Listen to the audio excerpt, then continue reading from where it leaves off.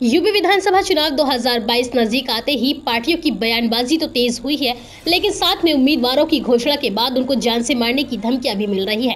ताज़ा मामला बुलंदशहर से सामने आया है। यहाँ के बीजेपी प्रत्याशी प्रदीप चौधरी को जान से मारने की धमकी मिलने के बाद हड़कम मचा हुआ है। भाजपा प्रत्याशी ने आरोप लगाया है की फ़ोन कॉल करने वाले व्यक्ति ने खुद का नाम खान साहब बताया और कहा कि हम तुझे गोली मारकर खत्म कर देंगे। भाजपा प्रत्याशी ने मामले की तहरीर कोतवाली देहात में दी है।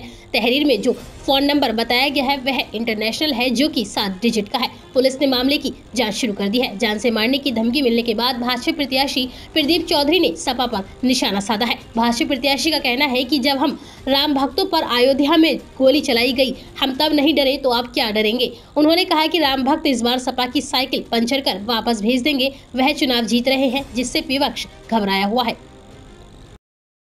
में तहरीर दी है क्या पूरा मामला था? किस तरीके की धमकी दी गई है? और क्या कहा गया है? भारतीय जनता पार्टी कैसर से मैं भाजपा प्रत्याशी जी। कल दो बज के चौवन मिनट पे आउट ऑफ़ कंट्री से फ़ोन आया। उसने कहा प्रदीप चौधरी कहाँ है?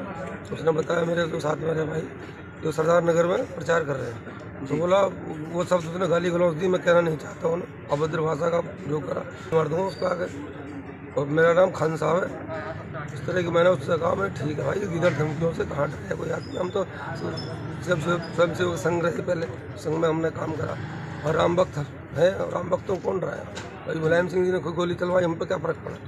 भाई तो उसमें चुनाव न लड़ने की भी कोई बात कही है? नहीं मुझे अब वो नहीं कि चुनाव लड़ने की उससे क्या फ़ायदा हमने ये कहा कि भाई आते ही तुझे गोली मार दूँगा। मैं मेरे से नहीं कहा उसका काज पे फ़ोन था तो बाद में मैंने नंबर मिलाया तो मिला नहीं यहाँ से। सात नंबर का नंबर था। तो आप शासन प्रशासन से क्या मांग पहले तो ये कि विपक्ष जो है ना ये जन सैलाब को देकर घबरा गया।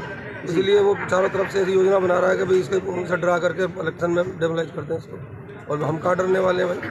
है जी हम तो राम भक्त हैं।